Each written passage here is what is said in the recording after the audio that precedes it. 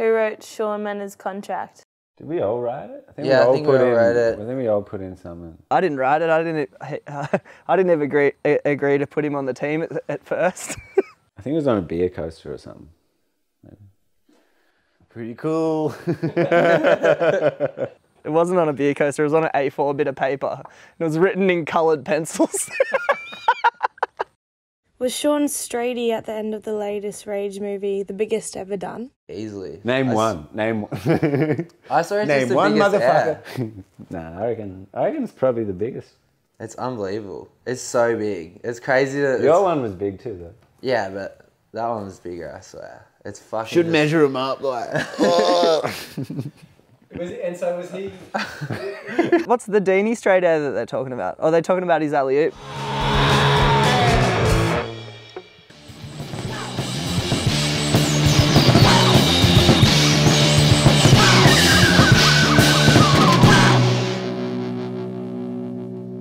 I just, I don't think I've ever seen anyone do a, a bigger one. And, like, Especially on a proper wave. That too. wave's pretty solid too.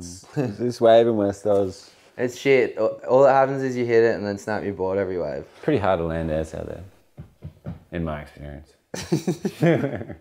I just think Chuni's dropped so many crazy clips in the last couple years. Like if you put all of like the, the craziest clips that Shaun's got in the last two years, you'd be like, oh, well, that, that's like altogether, that's the craziest surfing that's been done, like almost. It's not that I didn't want him to be on the team. I just wanted him to like, because he moved in with me and Creed when we was, when he was like 15 or 16 or whatever, 16 probably, and then just we were like his his parents, and then I was just like, this dude's just like he's kind of slipping a bit. He's just like maybe taking on to like too many of our bad habits or whatever, and but not coming through with the footage, which is like an example that I reckon Credo's always set. You know, like if he has a big night or whatever, then he still knows that his job is like he's a surfer.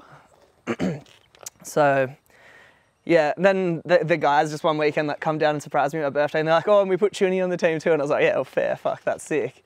But then, and then the and then the year later, he came through with like all of the Psychos clips and like easily the best section in the movie, biggest air maybe ever done. So biggest, so yeah, fuck yeah, Chuny. It'll be like undeniable that, yeah, that he's a real sort of special special dude and surfer, like talented surfer. Like that fucking matters.